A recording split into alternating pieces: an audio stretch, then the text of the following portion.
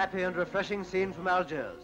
The return to freedom of men who had been kept in concentration camps by the policy of North Africa's former Vichy masters. The policy that might be described as Hun and water. These men, greeted by a British officer, came from such places as Vienna, Berlin, Paris, and Pilsen. They have been released since the Allied occupation. They will join Britain's Pioneer Corps to work for the armies of the United Nations under British officers. There must be many thousands in Europe equally willing to work and fight against Hitler. The thing is to find them.